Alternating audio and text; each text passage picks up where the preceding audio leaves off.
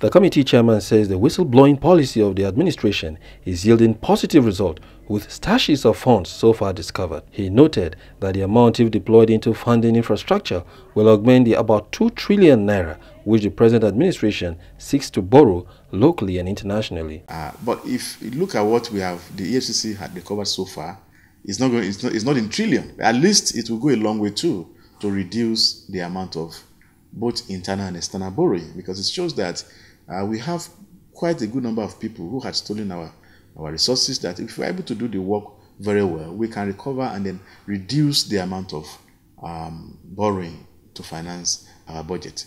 He calls on Nigerians to take the anti-corruption fight as a movement in which everyone is an active participant to expose the few who have denied the majority of his commonwealth, assuring members of the public of the commitment of the committee fight against financial crimes. Even though what the budget office presented was 17.5 billion, in the final analysis, we might have something up to 20 billion or beyond.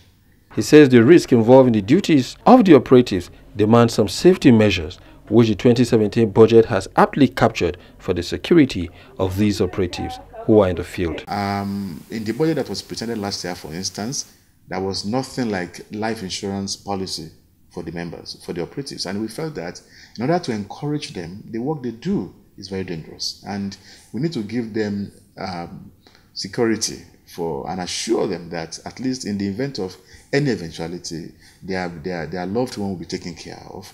The National Assembly earmarked some sort of money for life insurance. The lawmaker pointed out that to escape being caught with raw cash, most looters are now hiding their monies in real estate following the tight fiscal regime that makes it difficult for them to wire same out of the shores of Nigeria. From the House of Representatives, Osaitin Osadebamwen, reporting for Court TV News.